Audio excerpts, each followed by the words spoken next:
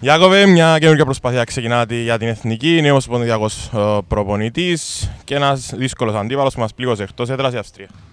Ναι, σίγουρα είναι μια καινούργια αρχή για όλα τα παιδιά. Έχει και καινούργιες κλήσεις, καινούργιον προπονητή. Όλα τα παιδιά θα δώσουμε το καλύτερο εαυτό μας για να προσπαθήσουμε να φέρουμε την νίκη που, έχει, που τη χρειαζόμαστε γιατί έχει καιρό να κάνουμε μια σημαντική νίκη.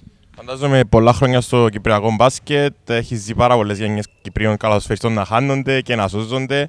Ε, αυτή η νέα προσπάθεια της Ομοσπονδίας δείχνει όμως πως δίνει αρκετές ευκαιρίες στα νέα παιδιά.